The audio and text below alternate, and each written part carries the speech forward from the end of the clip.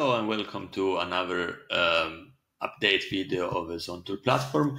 In this video, I'm going to show you one update that has been uh, live very long for about a month, but I never got around to document, uh, and now I will do it. Um, the this update is uh, bulk edit rules, so we allow you users to be able to uh, take a bulk action on our rules. Uh, the way this one works is, uh, let's say, for example, we are working here at the keyword level. We're looking at all the keywords of this uh, uh, silicon product campaign. You will go ahead and either select all the keywords or select only a few of the keywords. Like for instance, um, we put a threshold 26% ACOS, as you can see here, but the true ACOS of these keywords are 27, 38, and 38 and 48. So let's assume that only for these free keywords, you will want to have a higher ACOS. So you will go and select the free keywords. You will select bulk action. You will select bulk rule editor and you will tell the system that for these three keywords, the maximum ACOS and only the maximum ACOS, we're going to edit only the maximum ACOS is going to be changed to 50%. Okay. Now, as long as you leave all other thing blank, we will go ahead and only bulk edit only the field that you requested us to bulk edit. So in this case, we will bulk edit only the ACOS of that free keyword and we'll change it to 50. And I'm gonna go ahead and save. So let's see the results. And as you can see right now, those free keywords, they are customized and they have a 50% ACOS. Now, let's say that you change your mind and you go back and you want to bulkhead it back to what it used to be, which is max ACOS of 26. I'm going to set it back.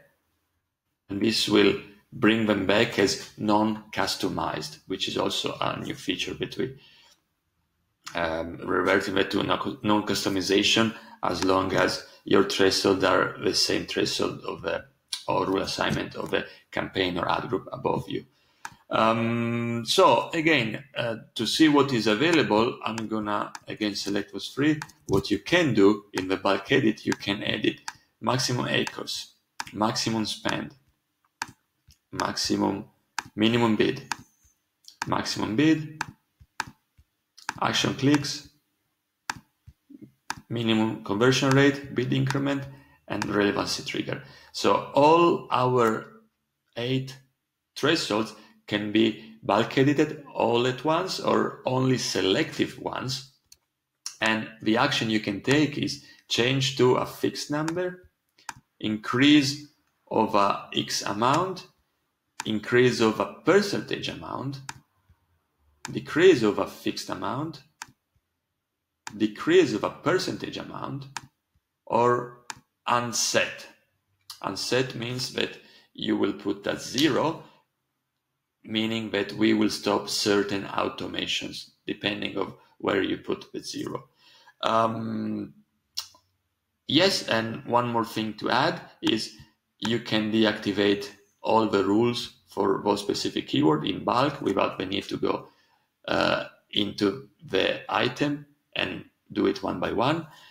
And you can also override. In this case, you cannot because we are uh, at keyword level, but if you are at campaign level or above, you can override and customize, include customized item with this switch.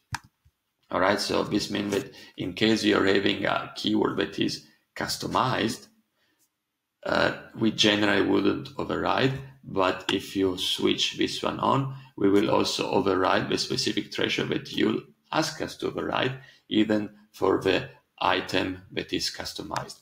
I've been discussing um, at keyword level, but the bulk rule editor works at PGN, keyword, campaign, and ad group level. Okay. And as far as for the selective rule bulk editor, um, this is it. We also recently added the ability to uh, add SKUs or product uh, to a PGN from your spreadsheet rather than copy pasting the SKUs. And the way it's done, uh, for example, I will go here at uh, product page, or you will go inside whatever campaign or ad group you want to uh, take products out. Um, again, this is a, a, total random example. I will go ahead here and select, uh, I don't know, let's select uh, all these SKUs and I will decide to add all these product SKUs to a PGN. So the way I go about it is like without, again, without having to download this CSV and copy and paste, I will go uh, add new, add SKUs to PGN.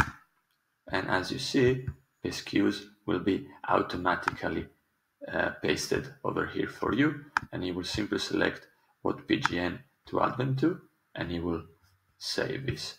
Um, that's it for today's update. Thank you very much for watching and see you on the next video.